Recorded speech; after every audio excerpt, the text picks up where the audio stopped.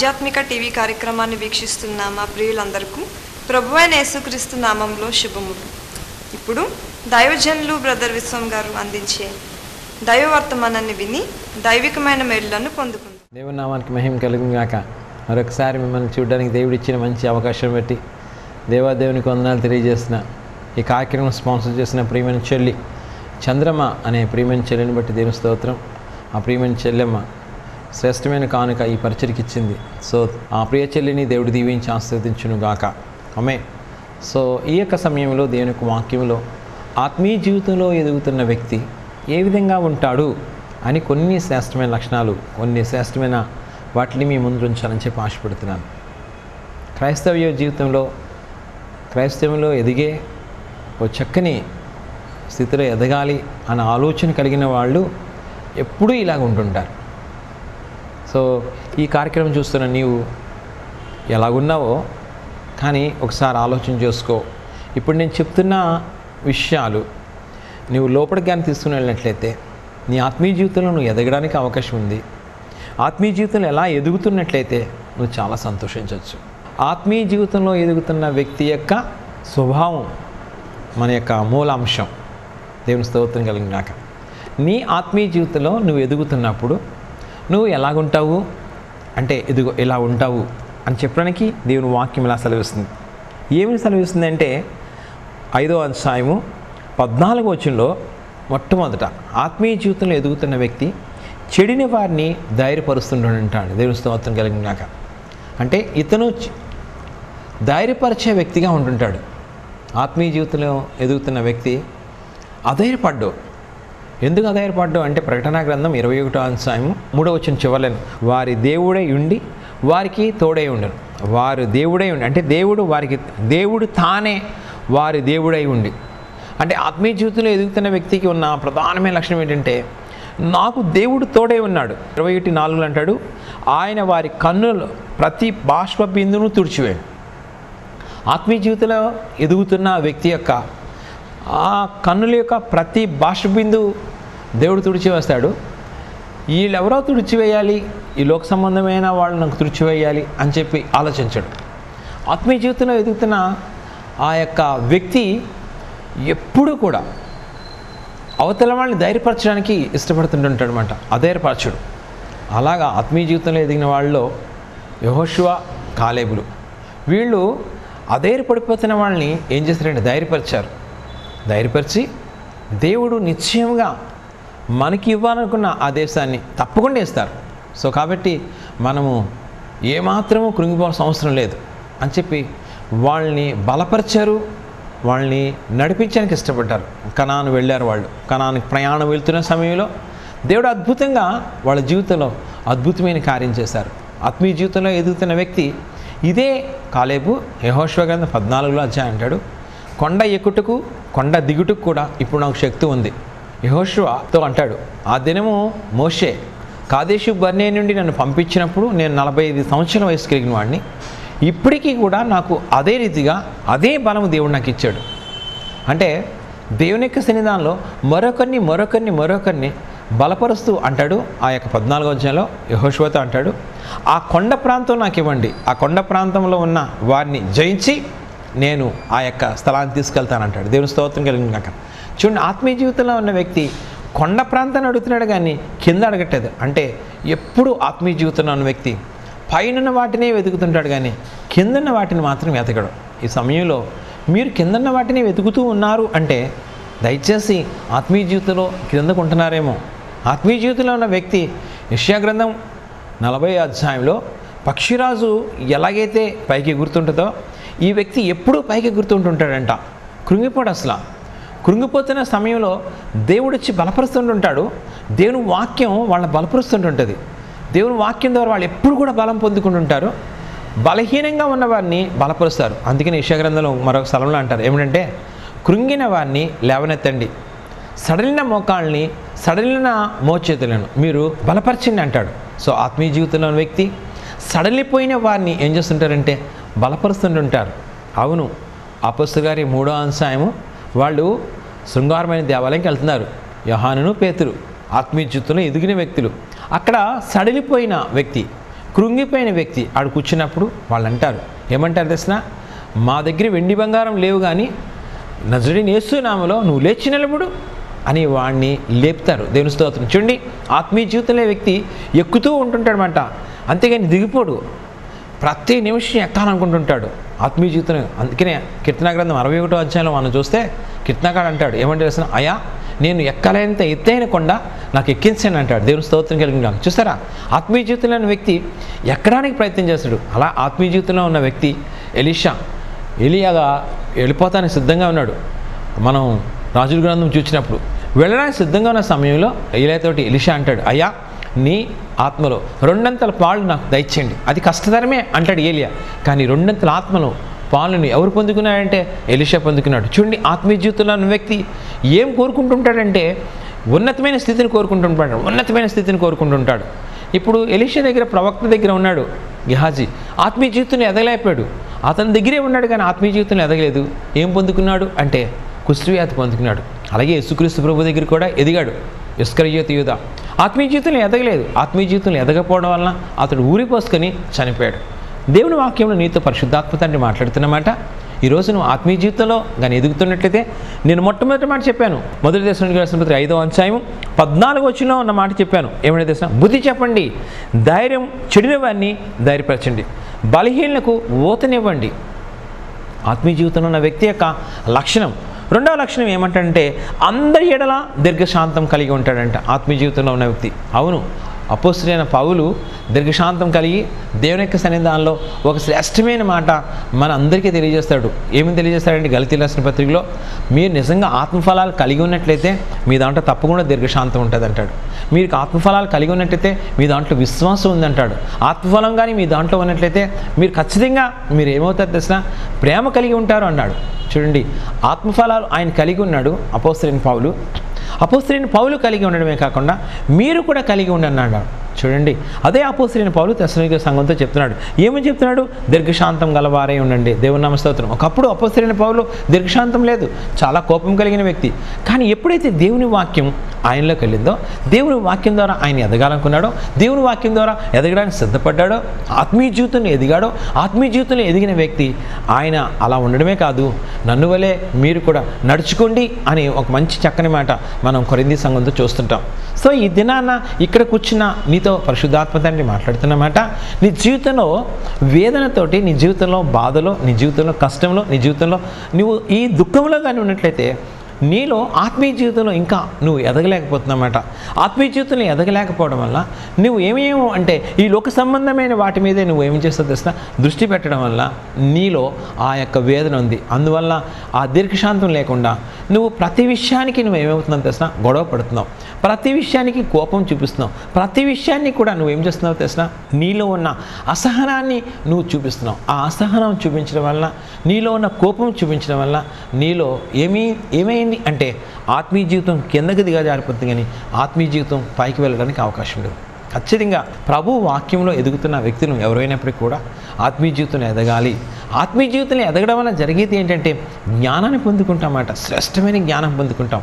జ్ఞానం ఎవరి దగ్గర ఉంది అంటే దేవుని దగ్గరే ఉంది. కొలసి సంఘంతో చెప్తాడు అపుస్త్రిని పావులు మీకు జ్ఞానం కొద్దుగా ఉన్నట్లయితే ఆయన అడగండి అంటాడు. సో దేవుని యొక్క స్నేహితాలం ఆత్మీయ జీవితంలో ఎదుగుతున్న వ్యక్తి జ్ఞానంలో ఎదుగుతాడు అని చెప్తున్నాను. దశలోని రాష్ట్రపతిలో మరొక చక్కని మాట మాట్లాడతాడు. ఏమని మాట్లాడతాడు పదిహేను వచ్చులో ఎవడును కీడునకు ప్రతి కీడును ఎవరికైనా చేయకుండా చూచుకోండి. ఆత్మీయ జీవితంలో ఉన్న వ్యక్తి ఎప్పుడూ కూడా కీడు చేయడానికి ఇష్టపడ్డు. ఎందుకు తెలిసిన కీడు ఎప్పుడైతే చేశాడో ఆ వ్యక్తి నష్టపోతాడు.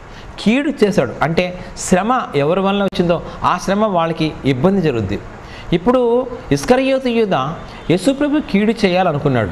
కానీ అతను ఏమయ్యాడు? అంటే అతను చాలా నష్టాన్ని తెచ్చుకున్నాడు. అదేవిధంగా నీ జీవితం నా జీవితంలో ఆత్మీయ జీవితంలో ఎదుగుతున్నాను అని కానీ కనిపిస్తే నీవు ఎట్టి పరిస్థితుల్లో కీడుకి అవకాశం ఎవరికి కీడు చేయమాట. ఇంకేస్ ఎవరైనా నీకు కీడు చేస్తున్నానుకో కీర్తనా గ్రంథంలో చక్కని మాట ఉంటుంది. నా దగ్గర ఉన్నవాడే తన మడిమినెత్తెను అంటాడు. అంటే నా ఇంట భోజనం చేసినవాడు మడిమినెత్తాడంట. మడిమినెత్తినప్పటికి కూడా ఏం చేస్తారు దర్శన క్షమించాడు. దేవుని స్తోత్రం. దావీది కూడా అభిషాలం విషయంలో ఏం చూపించాడంటే ప్రేమ చూపించాడు అని చూస్తుంటాం. ఈ సమయంలో ఇక్కడ కూర్చున్న నీతో పరిశుద్ధాత్మ తండ్రి సూటిగా మాట్లాడుతున్న ఒక చక్కని మాట్లాడంటే ఆత్మీయ జీవితంలో ఎదగడానికి ప్రయత్నించాయి ఆత్మీయ జీవితంలో ఎప్పుడైతే ఎదిగావో నీ జీవితంలో అన్నీ కూడా ఏమవుతాయంటే క్రమపరచబడతాయి. నీ జీవితంలో అన్ని విషయాల్లో కూడా నువ్వు ఉన్నతమైన స్థితికి వెళ్ళడానికి అవకాశం ఉంటుంది ఆత్మీయ జీవితంలో ఉన్న వ్యక్తి మరొకటి ఏంటి అంటే ఈ మొదటి దర్శనం రాసిన పత్రిక ఐదో వచ్చా పదిహేడు వచ్చిన అంటాడు ఎల్లప్పుడూ ఏం చేస్తుంటాడంటే ప్రార్థన చేస్తుంటాడు. ఎడతెక్క ప్రార్థన చేస్తుంటాడు. ఆత్మీయ జీవితంలో ఉన్న వ్యక్తి యొక్క లక్షణం ఎడతెక్క ప్రార్థన చేస్తుంటాడు. మనం దానియాలు మనం జాగ్రత్తగా చూస్తే ఆయన ఆత్మీయ జీవితంలో ఉన్న వ్యక్తి ఆయన ఎడతెక్క ప్రార్థన చేసే అనుభవంలో ఉన్నాడు. ఆ ఎడతెక్క ప్రార్థన చేసే అనుభవంలో ఉన్నాడు కాబట్టి ఆ ప్రార్థనలో ఒక శక్తిని పొందుకున్నాడు. ఆ శక్తిని పొందుకోవడం వల్ల సింహాల బోన్లో పడినప్పుడు ఆ యొక్క శక్తిని బట్టి సింహాలకి నేను అనుకుంటున్నా సింహాలకి దానియాలకు శరీరం కనిపించట్లేదు. అది దానియాలకి మాత్రం సింహాలు కనబడుతున్నాయి కానీ దానియాల శరీరం మాత్రం ఎవరు కనిపించట్లేదు? అందుకనే ఈ సింహాలు మౌనంగా ఉండుండొచ్చు. ఒకటి. రెండోది ఏంటంటే దానియేలు అక్కడ ఉన్నాడు దానియేలు పక్కన దేవుని దూతలు ఉండి ఉండాలి. దేవుని స్తోత్రం. కాబట్టి దేవుని దూతలను పెట్టి కూడా ఆ యొక్క సింహాలు అరిచినట్లు కానీ దానియేలు మీద పడ్డామా అనే ఆలోచన కానీ వాటికి లేవు. వాటికి లేకపోవడం కారణం ఏంటంటే సింహాల బోన్లో పడిన దానియేలు ఎడతేక ప్రార్థన చేస్తున్నాడు దానియేలు. ఆ ఎడతేక ప్రార్థన చేయడం వల్ల ఒక శక్తిని పొందుకున్నాడు అనమాట ఒక శక్తి ప్రత్యేకమైన శక్తి పొందుకున్నాడు. ఆ శక్తి ఆ అనుభవం ఆ యొక్క బలము ఎవరిని ముట్టుకోలేకపోయింది అంటే దానియల్ని సింహాలు ముట్టుకోలేకపోయాను. ఇదేనా నీ ఆత్మీయ జీవితంలో నువ్వు ఎడతెక్క ప్రార్థన చేస్తున్నావు ఒకసారి ఆలోచన చేసుకోండి. ప్రార్థన అనుభవంలో ఎలాగ ఉండాలి తెలిసిన స్థాయి పెరుగుతుండాలన్నమాట. ఒక వ్యక్తి ఆవరణ దగ్గర ఉన్నాడు అంటే ఆవరణ నుంచి ఎక్కడికి వెళ్ళాలంటే ప్రత్యక్ష గుడారంలోకి పరిశుద్ధ స్థలంలోకి వెళ్ళాలి. పరిశుద్ధ స్థలం నుంచి ఎక్కడికి వెళ్ళాలంటే అతి పరిశుద్ధ స్థలంలోకి వెళ్ళాలి. అంటే మూడు స్టెప్స్ మొత్తం ఆవరణ ఆవరణ దాటిన తర్వాత పరిశుద్ధ స్థలం పరిశుద్ధ స్థలం తర్వాత అతి పరిశుద్ధం. ఆవరణలో ఉన్నది ఏంటంటే బలిపీఠం ఉంది. ఆవరణలో ఏముందంటే గంగాళం ఉంది. ఈ బలిపీఠాన్ని గంగాళం దాటి వెళ్ళే అనుభవం ఉండాలి. బలిపీఠం దగ్గర బలి అర్పించాలి తప్పిదం ఒప్పుకోవాలి గంగాళ దగ్గరికి వెళ్ళిన తర్వాత కాళ్ళు చేతులు కడుక్కునేప్పుడు సమస్తమైన లోపల ఏ దుర్నీతి లేకుండా చూసుకోవాలి. అప్పుడు లోపలికి వెళ్తావు. లోపలికి వెళ్ళిన తర్వాత అక్కడ ఉండి ఒక ప్రత్యేక మూడు ఉంటాయి. పరిశుద్ధ స్థలంలో ఉండే మూడు. మొదటిది ధూప వేదిక ఆ ప్రక్కన సన్నిధి రొట్టెల బల్ల ఆ ప్రక్కన దేవుని యొక్క సన్నిధానంలో ఒక శ్రేష్టమైన దీపస్తంభం. ఈ మూడు అనుభవాలు ఈ మూడు అనుభవాలు దాటిన తర్వాత లోపల అతి పరిశుద్ధ స్థలంలోకి వెళ్తాం. అతి పరిశుద్ధ స్థలంలోకి వెళ్ళిన తర్వాత అక్కడ ఉంటుంది మందస్థం ఉంటుంది. మందస్థం పైన కెరూబులతో కలిపిన కరుణాపీఠం ఉంటుంది. ఆ కరుణాపీఠం మీద కెరూబులు రెండు ఇలా వాలి ఉంటాయి. ఆ వాలి ఉన్న మధ్య భాగంలో శకిన మేఘం అంటే ఆయన యొక్క సన్నిధి అక్కడ ఉంటుంది. ప్రధాన యాజకుడు లోపలికి వెళ్ళినప్పుడు ఆయన అక్కడ ఉండి ఆ వాళ్ళతో మాట్లాడేవాడంట. దేవుని స్తోత్రం. అంటే నీవు నేను కూడా ఆవరణలో ఉండే అనుభవంలో కాకుండా పరిశుద్ధ స్థానంలో ఉండే అనుభవంలో కాకుండా అతి పరిశుద్ధ స్థలంలోకి వెళ్ళే అనుభవంలోకి మనం వెళ్ళాలి. అతి పరిశుద్ధ స్థలంలోకి వెళ్ళే అనుభవంలోకి వెళ్ళినప్పుడు అద్భుతమైన కార్యం చూడగలుగుతాం. ఇప్పుడు అపోస్తులైన పౌలు అతి పరిశుద్ధమైన స్థలంలోకి వెళ్ళాడు కాబట్టి ఆయన మూడో ఆకాశానికి వెళ్ళినట్లుగా మనం చూస్తుంటుంటాం. దేవుని స్తోత్రం కలిగినాక రెండో కొరింది పత్రికలో మనం చూస్తుంటాం. సో అదే రీతిగా దానియలు కూడా అతి పరిశుద్ధ స్థానంలో ఉన్నాడు. అతి పరిశుద్ధ స్థానంలో అనుభవం ఉన్నది కాబట్టి అక్కడ సింహాలు దానియల్ని ఏమీ చేయలేకపోయారు. సో ఆత్మీయ జీవితంలో ఎదిగే వ్యక్తి రెండవ ప్రధానమైన లక్షణం ఏమై ఉండాలంటే ఖచ్చితంగా అతను ఎడతెక్క ప్రార్థన చేస్తుండాలి. నెక్స్ట్ ఆత్మీయ జీవితంలో అన్న వ్యక్తి మూడోది ఏంటంటే ఎడతెక్క కృతజ్ఞతాస్థుతులు చెల్లిస్తుండాలి. ఇదే మొదటి దర్శన రాసిన పత్రిక ఐదో అధ్యాయం పద్దెనిమిదో వచ్చిన ఉంటుంది. ఎడతెక్క అతను కృతజ్ఞతాస్థుతులు. ఎందుకు కృతజ్ఞతాస్థుతులు చెల్లించాలి? అంటే ప్రభా నువ్వు నన్ను ఆత్మీయ జీవితంలో ఉంచున్నందుకు నీకు స్తోత్రాలు. అది నేను పడిపోకుండా భక్తులు దావిదంటాడు అయ్యా నా కాలు జారి పడుతున్నప్పుడు ఆయన నాకు సహాయం చేశాడంటాడు అంటే నిజంగా ఆయన కానీ సహాయం చెప్పితే కాలు జారి చాలాసార్లు పడినమాట. ఒక్కసారి పడ్డాడు ఒకసారి పడిన తర్వాత తిరిగి అతను ఎప్పుడూ పడలేదని దేవుడే ఆయన గురించి సాక్ష్యం చెప్తున్నారు. ఈ దినం నీ జీవితం నా జీవితంలో ఒకసారి ఆలోచన చేస్తే మనం చాలాసార్లు పడిపోయేమేమో పడిపోయిన సమయంలో దేవుడు లేపారు. లేపిన తర్వాత ఇంకా తిరిగి మనం ఏమనుకోకూడదంటే ఇంకా నేను పడిపోకుండా ఉండాలి. సో నేను పడిపోకుండా ఉండాలంటే పడిపోతాం. అందుకొరకే మనం ఏం చెప్పాలంటే కృతజ్ఞతాస్థుతులు జరపాలి ప్రతిరోజు కృతజ్ఞతాస్థుతులు మనం తెలియజేస్తుండాలి. ఎందుకు కృతజ్ఞతాస్థుతులు తెలియజేస్తుండాలంటే ప్రభా నా ఆత్మీయ జీవితంలో నేను పడిపోకుండా మీరు నన్ను కాచి కాపాడినందుకు అని కృతజ్ఞతాస్థుతులు చెల్లించాలి. అదే రీతిగా మనకి దేవుడు చేస్తున్న మేలు విషయంలో కూడా కృతజ్ఞతాస్థుతులు చెల్లించాలి. ఆత్మీయ జీవితంలో ఖచ్చితంగా మూడో ప్రధానమైన లక్షణము కృతజ్ఞతాస్థుతులు చెల్లించే లక్షణం ఉండాలి. దేవుని స్తోత్రం కలిగింది అందుకనే భక్తుడు నా ప్రాణమా యహోవాను సన్నతించి. ఆయన చేసిన ఉపకారం దేనిని మర్చిపోకొని దేవునికి ఎల్లప్పుడూ ఆయన అంటాడు నేను ఎల్లప్పుడూ ఆయన కృతజ్ఞతాస్థుతులు చెల్లిస్తున్నాను అంటాడు. దేవుని స్తోత్రం కలిగిన అపోసరైన పావులు అంటాడు. ఆత్మతోనూ మనసుతో నేను ఎల్లప్పుడూ ప్రార్థన చేస్తున్నాను అంటాడు.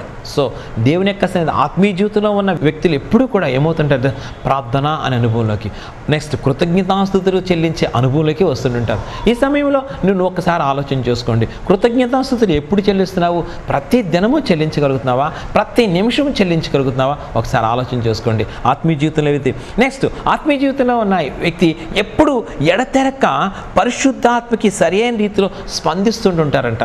ఎప్పుడు కూడా అంటే పరిశుద్ధ అక్కడ ఐదు పందుములు అంటాడు ఆత్మను ఆర్పకండి. అంటే ఆత్మకు ఆర్పే లక్షణం రాకుండా ఉండడానికి ప్రయత్నం చేస్తుంటారు.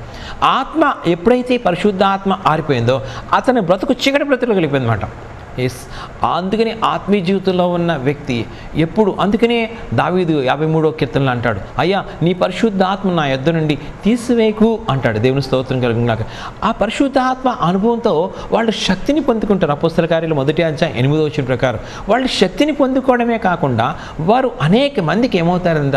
బూదిగంతంలో వరకు సాక్షులుగా ఉంటారన్నమాట. అంటే ఆత్మీయ జీవితంలో ఎదుగుతున్న వ్యక్తి ఏమవుతాడంటే అనేక మందికి సాక్ష్యకరమైన జీవితంలో ఎదగడానికి అవకాశం ఉంటుంది. ఆత్మీయ జీవితం లేకపోతే అనేక మంది సాక్ష్యకరమైన జీవితంగా ఉండలేకపోవచ్చు. ఆత్మీయ జీవితంలో ఉన్నాడు కాబట్టి యహోష్వ అనేక మందికి సాక్ష్యకరమైన జీవితాన్ని చూపించడానికి దేవుడు సాయం చేశాడు యహోష్వ గ్రంథం ఐదో అధ్యాయం మనం చూసినప్పుడు యహోష్వను గొప్ప చేసును అని ఉంటుంది. దేవుని స్తోత్రం. సంఖ్యాకాండంలో మనం చూసినప్పుడు ఒక చక్కని మాట కనబడుద్ది. ఏమని కనబడుద్ది అంటే మోషే అంటాడు అయ్యా నేను ఇప్పుడు ఎక్కడికి దిగుటకు నాకు శక్తి లేదు. ఇప్పుడు నాకు దగ్గరగా నూట ఇరవై సంవత్సరాలు వచ్చేసినాయి. ఇప్పుడు నా తర్వాత ఒక వ్యక్తి కావాలి కదంటే ఆయన అంటాడు ఏమని తెలుసా? అతను ఆత్మను పొందినవాడు ఎవరు? యహోష్వ. సో ఆత్మీయ జీవితంలో ఉన్న వ్యక్తి ఎప్పుడు కూడా ఎలా ఉంటాడంటే దేవునికి చాలా ఇష్టంగా బ్రతకడానికి ఇష్టపడతాడు. ఒక దినాన ప్రత్యక్ష గుడారానికి మోషి వెళ్తున్నాడు. మోషి వెళ్తున్నప్పుడు ఎప్పుడు వెళ్ళినా కూడా అక్కడున్న పాళెంలో ఉన్న ప్రజలందరూ కూడా ఆయన వెళ్ళినప్పుడు అందరూ కూడా ఏం చేసేవారంటే ఆయన వెళ్తున్నప్పుడు ఆయన వెనుక భాగం చూస్తూ ఉండేవారు మోషే. కానీ అక్కడున్న ఒక చక్కని మాట ఉంటుంది. గుడారంలో యహోష్వా అనే యవనస్తుడు గుడారం నుండి బయటికి రాలేదు అని నిర్గమాకాండంలో చూస్తాం. దేవుని స్తోత్రం. అంటే ఆ గుడారంలో ఏం చేస్తున్నాడంటే ప్రార్థన కృతజ్ఞతాస్థుతులు పరిశుద్ధాత్మ అనుభవం దేవునామ స్తోత్రం కలిగిన కాక ఈ ప్రత్యేకమైన సమయంలో నువ్వు అటువంటి అనుభవంలోకి వెళ్ళినట్లయితే ఇప్పుడు మోసే తర్వాత నాయకత్వ బాధ్యతలు యహోష్వాకి దేవుడు ఎలాగే తెచ్చాడో అలాగా నీ జీవితంలో కూడా నువ్వు ఏదైనా సంఘంలో ఉంటే నువ్వు ఏదైనా సంఘంలో ఒక సేవకుని దగ్గర పనిచేస్తుంటే తర్వాత ఒక శ్రేష్టమైన స్థితిలో ఉన్న నీకు ఆ యొక్క బాధ్యత నీకు అప్పగించబడుద్ది. ఆత్మీయ జీవితంలో ఉన్న వ్యక్తి ఆత్మీయ జీవితంలో ఉన్న వ్యక్తి కీడుకి దూరంగా ఉంటాడండి. ఆత్మీయ జీవితంలో ఉన్న వ్యక్తి ధైర్యపరుస్తుంటుంటాడు కానీ బలహీనపరచడు. ఆత్మీయ జీవితంలో ఉన్న వ్యక్తి ఎడతెగా ప్రార్థన చేస్తుంటాడు. ఆత్మీయ జీవితంలో ఉన్న వ్యక్తి ఎప్పుడు కూడా కృతజ్ఞతాస్థుతులు చెల్లిస్తుంటుంటాడు ఆత్మీయ జీవితంలో ఉన్న వ్యక్తి పరిశుద్ధాత్మ ఆరిపోకుండా ఉండడానికి ప్రయత్నం చేసుకుంటుంటాడు ఎందుకంటే పరిశుద్ధాత్మ ఎప్పుడైతే ఆరిపోయిందో ఆత్మీయ జీవితం ఏమైందంటే పడిపోతుంది పడిపోతుంది. అలాగా పడిపోయింది ఎవరికంటే? సౌలు. సౌలు యొక్క ఆత్మీయ జీవితం పడిపోయింది. పడిపోయిన జీవితంలో ఇంకా తన యొక్క జీవితం అంతా కూడా యుద్ధమయం అయిపోయింది అతని జీవితం అంతా కూడా ఇంకా దావీదిని వెతుక్కోవడం దావీదిని చంపాలనే ఆలోచనతోటే ఉన్నాడు. కానీ పరిశుద్ధాత్మను పొందుకున్న దావీది మాత్రం ఎప్పుడూ సౌల్ని క్షమిస్తూనే ఉన్నాడు. దేని స్తోత్రం. అతి ఆత్మీయ జీవితంలో ఎదుగుతున్న వ్యక్తి యొక్క లక్షణం ఏంటంటే క్షమించే లక్షణం ఉంటుంది. అలాగా దేవుని యొక్క సన్నిధాలు అపోసరైన పౌలు కూడా క్షమించాడు క్షమాపణ అందరికీ ఇచ్చాడు. ఈ సమయంలో ఇక్కడ నీవు ఆత్మీయ జీవితంలో నువ్వు ఎదుగుతున్నట్టు చేసినట్లయితే తప్పకుండా నువ్వు కూడా ఏం చేస్తావు తెలుసా? క్షమించే లక్షణం ఉంటుంది. దేవుని యొక్క సన్నిధి అనేక మందిని దీవించే లక్షణం ఉంటుంది. అనేక మందికి మేలు చేసే లక్ష్యం ఉంటుంది. మరొక శ్రేష్టం ఏంటంటే ఆత్మీయ జీవితంలో ఉన్న వ్యక్తి ఎడతెక్క సాక్ష్యం ఇచ్చే లక్ష్యం ఉంటుందంట. ఎప్పుడు ఎక్కడికి వెళ్ళినా కూడా ఈ ఆత్మీయ జీవితంలో ఉన్న వ్యక్తి యేసుక్రీస్తు ప్రభు గురించి తను చెప్పుకుంటుంటాడనమాట తను ఈరోజు ఈ విధంగా ఉన్నాను అంటే నాకు ఆయనే ఆయన వల్ల నేను రక్షించబడ్డానండి. ఆయన వల్ల నా జీవితం ఇలాగా మెరుగైందండి. ఆయన వల్ల నాకు ఈ జాబ్ వచ్చిందండి. ఆయన వల్ల నేను ఇలాగ నేను చక్కని భార్యను సంపాదించుకున్నాను. ఆయన వల్ల నేను ఒక చక్కని కుమారుడు సంపాదించు ఆయన వల్లే నేను ఈ చెడుతనం అనే దాంట్లో నుంచి నేను బయటకు వచ్చానండి. సాక్ష్యం చెప్పు. ఆత్మీయ జీవితంలో ఎదుగుతున్న వ్యక్తి ఖచ్చితంగా ఏమవుతాడంటే మొదటి తీసుకుని రాసిన పత్రిక ఐదు ఇరవైలో మాట్లాడుతున్నమాట తెగక అతను ఏం చేస్తుంటాడట? సాక్ష్యం ఇస్తూనే ఉంటుంటాడు. తన జీవితకాలం అంతా సాక్ష్యం ఇస్తుంటుంటాడనమాట తన జీవితకాలం అంతా. ఎప్పుడో ఒకసారి సాక్ష్యం ఇచ్చి విడిచిపెట్టాడు. కానీ సాక్ష్యం ఎలా ఉంటుంది అంటే అతని యొక్క ఆత్మీయ జీవితానికి తగినట్లయినా సాక్ష్యం ఇస్తుంటుంటారు. చక్కని సాక్ష్యం అట అంటే ఎవరు చూసినా కూడా ఆ సాక్ష్యాన్ని ప్రకారము ఆ యొక్క సాక్ష్యాన్ని ప్రకారం నిజమే అతను చెప్పిన సాక్ష్యము సత్యమే. అంటే దానికి ఎగ్జాంపుల్ మనం యుహాను సువార్త నాలుగో అంశం మనం జాగ్రత్తగా చూసినప్పుడు సమరయ స్త్రీ సాక్ష్యం ఇచ్చింది తన గురించి యేసుక్రీస్తు ప్రభు గురించి. ఆ సాక్ష్యాన్ని విన్న వాళ్ళు గబగబా ఏం చేస్తారంటే యేసుక్రీస్తు ప్రభుని చూడడానికి వచ్చారు. ఆమె సాక్ష్యం వల్ల అనేక మంది ఏమయ్యారంటే బలపరచబడ్డారు. ఆమె సాక్ష్యం వల్ల అనేకులు ఆయన ఎందుకు విశ్వాసం ఉంచారు. సో ఆత్మీయ జీవితంలో ఉన్న వ్యక్తి సాక్ష్యాన్ని పెట్టి అనేక మంది ఏమవుతారు తెలుసా? దేవుని వైపుకి నడిపించబడతారు. ఈ దినము ఇక్కడ వాక్యం వింటున్న నీవు నీ సాక్ష్యం ద్వారా ఎవరైనా నడిపించబడ్డారంటే దేవుని స్తోత్రం కలిగింగా ఇంకా నీ సాక్ష్యం ద్వారా ఎవరూ నడిపించబడలేదు అంటే ఖచ్చితంగా చెప్తాను ఇంకా నువ్వు ఆత్మీయ జీవితంలో ఇంకా ఒక ఉన్నతమైన స్థితికి నువ్వు వెళ్ళలేదు అంటనమాట నేను గొప్ప చెప్పట్లేదు దేవుని మహాకృపను బట్టి నా సాక్ష్యం ద్వారా ఎన్నో స్థలాల్లో దేవుని వైపుకి నడిపించడానికి దేవుడు ఎంతోమంది దేవుని వైపుకి నడిపించగలిగారు. ఈ దినాన ఈ వాక్యం వింటున్న నీవు ఎందుకు నీ సాక్ష్యం ద్వారా మరొకరిని దేవుని వైపుకి నడిపించ ఆలోచించాలని చెప్పి నీకు ఆలోచన రాలేదు ఒకసారి ఆలోచన చేసుకో. అంటే నీ ఆత్మీయ జీవితం ఒక స్థాయిలో లేదు కాబట్టే నీ సాక్ష్యం ఏమైంది తెలిసిన అవతల వాళ్ళు వినలేదు. నీ సాక్ష్యాన్ని అవతల వాళ్ళు నమ్మట్లేదు. నీ సాక్ష్యాన్ని ఏమంటారు తెలిసిన చెప్తాదండి కానీ ఉండదండి. చెప్తాడండి ఉండడు. అంటే నీ సాక్ష్యం ద్వారా దేవుని నామాన్ని మయమపరచట్లే కానీ నీ సాక్ష్యం ద్వారా దేవుని నామాన్ని అవమానపరుస్తున్నామేమో మరొక చక్కని మాట ఏమంటాడంటే ఎప్పుడైతే ఆత్మీయ జీవితంలో ఉండాలనుకుంటాడో మొదటి దశలో రాసిన మొదటి ఐదో అంచె ఇరవై రెండో వచ్చును మత్స్సు వార్త ఐదో అంచె ఎనిమిదో వచ్చిన ఏమంటే తెలుసా? ఎడతెక్క పవిత్రంగా ఉండడానికి ప్రయత్నం చేస్తాడు.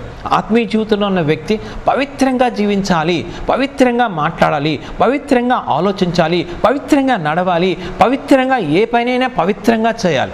అది ఆత్మీయ జీవితంలో ఉన్న వ్యక్తి యొక్క లక్షణం పవిత్రత అంటాడు. ఎందుకు అంటే వాక్యంలో ఉన్న మాట ప్రకారం హెబ్రిలాసిన పత్రికలో మీరు పవిత్రంగా లేకపోతే అంటే మీలో పరిశుద్ధత లేకపోతే మీరు దేవుని చూడడానికి అవకాశం లేదు అంటాడు. ఆయన పరిశుద్ధుడు కాబట్టి నేను కూడా పరిశుద్ధంగా ఉండాలి అని ఒక శ్రేష్టమైన లక్ష్యం ఉంటుందన్నమాట. ఆత్మీయ జీవితంలో ఎదగాలనుకున్న వ్యక్తే పవిత్రంగా ఉంటాడు. పవిత్రంగా ఉండడం కాకుండా తన యొక్క పెదవుల్ని పవిత్రంగా ఉంచాడు. తన కన్నులు కూడా పవిత్రం. యోగు తన యొక్క పవిత్రతని కాపాడుకోవడానికి తన కన్నులతో ఏం చేస్తున్నాడంటే నిబంధన చేసుకున్నాడంటాం. యష్యా తన పవిత్రత కాపాడుకోండి అయ్యో ఇప్పటి వరకు నా యొక్క నోటి ద్వారా నేను అనేక మాటలు మాట్లాడి ఉంటాను ఇక్కడి నుంచి నా నోటి ద్వారా ఈ మాటలు మాట్లాడును అని దేవుని యొక్క సన్నిధానంలో వాక్యంలో మనం చూస్తున్న యష్యా గ్రంథం ఐదో అధ్యాయం ఈ దినాన నీ జీవితంలో పవిత్రత కలిగి ఉన్నట్లయితే నువ్వు ఆత్మీయ జీవితంలో ఎదుగుతున్నావు. నేను మీతో చెప్తున్న మాట తెలిసిన ఆత్మీయ జీవితంలో నేను ఎదగాలి అనుకున్న వారితో ఈరోజు దేవుని వాక్యం. నీవు నిజంగా ఆత్మీయ జీవితంలో ఎదగాలనే నీకు లక్ష్యం ఉన్నట్లయితే నువ్వు ఎందుకు పవిత్రంగా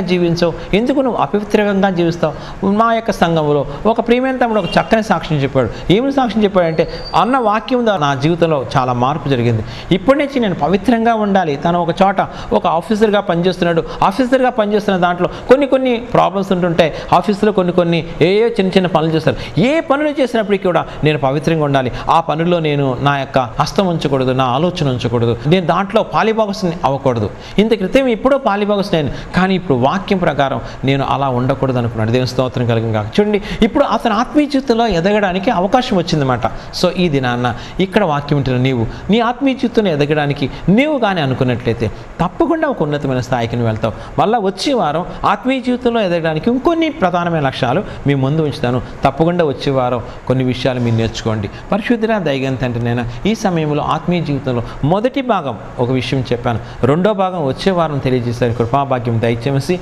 ఈ యొక్క కార్యక్రమం స్పాన్సర్ చేసిన చంద్రమును దీవించి ఆశీర్వదించమని యేసునామాను పెట్టేడుకుంటున్నాను తండ్రి. ఆమెన్. దేవుడు మిమ్మల్ని మీ కుటుంబాన్ని దీవించి ఆశీర్వదించను గాక ఆమెన్.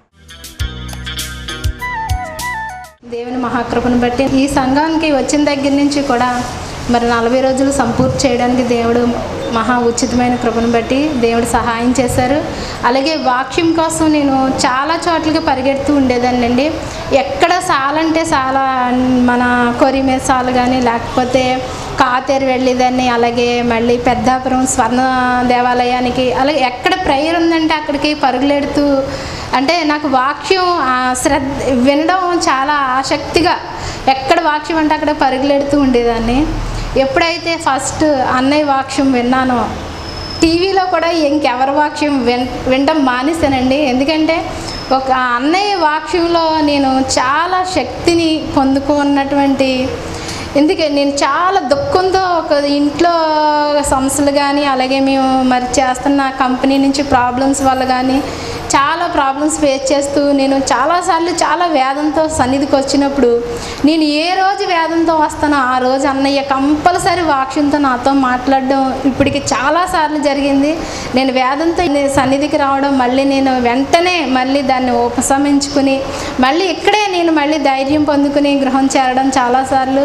అలాగే ఈ సన్నిధికి వచ్చాక మరి నా కుమారుడికి ఉద్యోగం రావడం ఎన్నో చాలా మేళ్ళు పొందుకోవడం కూడా జరిగిందండి. మా ఫ్రెండ్ వాళ్ళ పాపకి ఇరవై నాలుగు గంటలు నొప్పి వచ్చిందండి ఆ అమ్మాయి అయితే డిగ్రీ ఎగ్జామ్స్ సెకండ్ ఇయర్. సోమవారం ఎగ్జామ్ అనగా ఆదివారం ఇరవై నాలుగు గంటలు నొప్పి వస్తే చాలా హాస్పిటల్ తిరిగితే అమ్మాయిని జాయిన్ చేసుకోలేదంట చాలా సీరియస్గా ఉందని చెప్పేసి అంటే ఎవరో రాజకీయ నాయకులు ఇన్ఫర్మేషన్ ద్వారాగా స్వతంత్ర హాస్పిటల్లో జాయిన్ చేశారు. తెల్లవారితే అమ్మాయికి ఎగ్జాము ఇరవై నాలుగు గంటల నొప్పి. డాక్టర్ గారు వచ్చి మెడిసిన్స్ అవి ఇచ్చి ఆపరేషన్ చేసేయాలమ్మా. ఎక్కువగా ఉంది తన పరిస్థితి అనేసి అంటే మరి నేను చూడడానికి వెళ్ళానండి. చూడడానికి వెళ్ళినప్పుడు చాలా బాధ అనిపించింది. కానీ అమ్మాయి ఈ నొప్పి కంటే ఎగ్జామ్ ఎగ్జామ్ అనేసి తను కలవరపడ్డం నేను చూశాను. అన్నయ్య దగ్గరికి వచ్చి అన్నయ్య తెల్లవారితే ఎగ్జామ్ అన్నయ్య తనకు ఆపరేషన్ జరగకుండా ఈ ఎగ్జామ్స్ అయిపోయాక ఆపరేషన్ జరిగే విధంగా మీరు ప్రేయర్లో పెట్టండి అన్నయ్య అనేసి మరి అన్నయ్యకి చెప్పాను. అన్నయ్య ఆ రీతిగానే మరి ఏం పర్వాలేదు ఆపరేషన్ అయితే పడుతుంది. కానీ ఎగ్జామ్స్ రాతుంది అనేసి అన్నయ్య మాట ఇచ్చారు మాట ఇవ్వగానే నాకు చాలా సంతోషం అనిపించింది. వెంటనే మళ్ళీ నేను వాళ్ళకి ఫోన్ చేసి ఇలాగ అన్నయ్య మాట ఇచ్చారు తప్పకుండా ఎగ్జామ్స్ మీ పాప వెళ్తుంది అన్నాను అలాగే చిన్న కారు కట్టించుకుని అక్కడ తీసుకెళ్ళి ఎగ్జామ్స్ రాయించడానికి మరి దేవుడు ఉచితమైన కృపలో ఐదు రోజులు కూడా మంచిగా ఎగ్జామ్స్ రాసింది. మరి ఎగ్జామ్స్ రాసేలోపు ఆ నొప్పి మరి మళ్ళీ ఇంకా రాలేదట. హాస్పిటల్కి ఆపరేషన్ అవ్వకుండా దేవుడు స్వస్థత చూపించారు. వాళ్ళు వచ్చి సాక్ష్యం చెప్తామనేసి అన్నారు. తప్పకుండా వాళ్ళని కూడా తీసుకుని వస్తాను సన్నిధికి. అలాగే నేను ధవళేశ్వరం నుంచి వేరే సహోదరులను కూడా ఇక్కడ తీసుకొచ్చాను. అమ్మాయి ప్రె మూడు సంవత్సరాలు అయింది ప్రెగ్నెన్సీ రాలేదు. రెండు మూడు రోజులు నాలుగు రోజులు అన్నయ్యతో ఇక్కడికి వచ్చి ప్రార్థన చేయించుకుంది. ఉదయం ప్రేయర్ టవర్లోని ఆ ప్రార్థనలో మరి తను వచ్చిన మూడో రోజు నాలుగో రోజుకు మరి తన గర్భాన్ని దేవుడు దేవుని కృపలో తెరవడం జరిగింది. ఇప్పుడు ప్రెగ్నెన్సీ తను. దేవుని మన స్తోత్రం కలిగిన గాక. ఈ కార్యక్రమానికి చక్కని సహాయ సహకారం అందిస్తున్న మీ అందరికీ కూడా ప్రత్యేక వందనాలు తెలియజేస్తున్నాను. మరి మ్యాగ్జన్ మరి తీసుకుంటున్న వారందరిని బట్టి స్తోత్రం. మొదటి కాపీ మాత్రం ఉచితంగా ఇవ్వడం జరుగుతుంది. రెండో కాపీ దిగించి మాత్రం ఖచ్చితంగా మీరు కానుక పంపించాలి. మీ అడ్రస్ మాత్రం క్లియర్గా పంపించండి. అదే రీతిగా ఈ యొక్క కార్యక్రమం స్పాన్సర్ చేయాలనుకున్న ప్రీపెయిడ్లు అందరిని పెట్టి స్తోత్రం. ప్రతి నెల మూడు వందల రూపాయలు ప్రత్యేకం పంపిస్తున్న కుటుంబాలు ఉన్నాయి. వారందరిని పెట్టి కూడా నేను చాలా ప్రత్యేక వందనాలు తెలియజేస్తాను. ఎందుకంటే మీరు పంపించిన ఆ మూడు వందల రూపాయలు టీవీ పరిచయంలో ప్రత్యేకంగా వాడబడుతుంది. సో మీ గురించి ప్రత్యేకంగా మేము ప్రార్థన చేయడం కూడా అవకాశం ఉంది. కాబట్టి ఈ పరిచయను కొనసాగించడానికి మీ వంతు మీరు సహకరిస్తున్నందుకు మరొక్కసారి ప్రభునామను పెట్టి వందనాలు తెలియజేస్తాను ఈరోజు మీరు వాక్యం అయినట్లయితే మాతో ఫోన్ చేసి మాట్లాడండి. తప్పకుండా మీతో మాట్లాడతాము. మీ అడ్రస్ మాకు తెలియజేయండి. మీ గురించి మేము ప్రత్యేకంగా ప్రార్థన చేయడానికి అవకాశం ఉంది. దేవుడు మీరు దీవించను గాక. ఆమె అలాగే రాజమండ్రిలో ప్రతి నెల రెండో శనివారం పదకొండు గంటలకి విక్రమ హాల్లో జరుగుతుంది. మూడు గంటల వరకు ఉంటుంది. అద్భుతమైన సాక్ష్యాలు అద్భుతమైన కార్యాలు మీ జీవితంలో కూడా జరగడానికి అవకాశం వీలైతే తప్పకుండా రండి. గొప్ప ఆశీర్వాదం పొందుకుంటారు. AP Prayer Tower, door number 21 10 2 by 8, Korlampet, Rajamandri 4. My cell number 9848 571 523 9010 716 771.